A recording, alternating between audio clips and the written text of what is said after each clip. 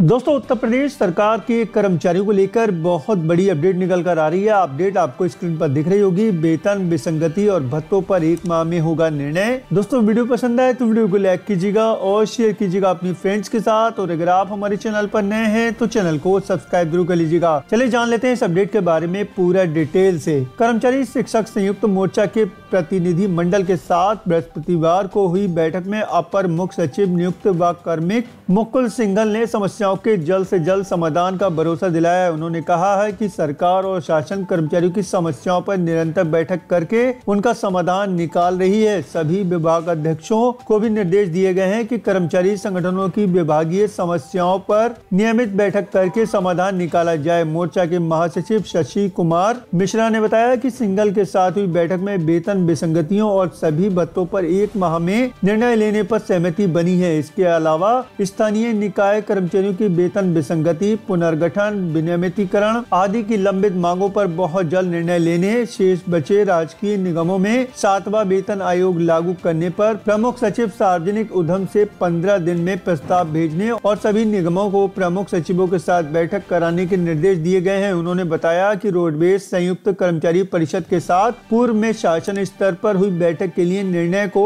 पंद्रह दिनों में लागू किए जाने के निर्देश भी दिए गए बैठक में उत्तर प्रदेश निगम कर्मचारी महासंघ के अध्यक्ष मनोज कुमार मिश्रा, राज्य कर्मचारी संयुक्त परिषद के अध्यक्ष सुरेश रावत और महामंत्री अतुल मिश्रा आदि शामिल थे। दोस्तों, बहुत अच्छी न्यूज़ निकल कर आ रही है। पूरी उम्मीद लगाई जा रही है की एक महीने के भीतर भीतर आपके वेतन विसंगति और भत्तों पर निर्णय ले लिया जाएगा। दोस्तों, अब आप लोग कमेंट करके मुझे जल्दी से बता दीजिए, आप लोग उत्तर प्रदेश के किस विभाग में कार्यरत है। नीचे कमेंट बॉक्स में आके अपने विभाग का नाम लिख दीजिए और अपने ज़िले का नाम लिख दीजिए, जिससे कि आगे मुझे न्यूज़ देने में मदद मिलेगी। और अगर ये वीडियो आपको पसंद आया हो तो जल्दी से वीडियो को लाइक कर दें और शेयर कर दें अपनी फ्रेंड्स के साथ। और इसी तरह की बेहतरीन वीडियो सबसे पहले पाने के लिए आप हमारे चैनल को सब्सक्राइब कर सकते हैं। वीडियो के ठीक नीचे एक लाल रंग का सब्सक्राइब का बटन दिख रहा होगा। आप उसको दबाइए और दबाने के बाद एक बेल का आइकॉन आएगा। आप उसको भी दबाइए ताकि इस तरह का हर नया वीडियो आप तक आसानी से पहुँच सके और अपना ख्याल रखेगा। फिर मुलाकात होगी। Thank you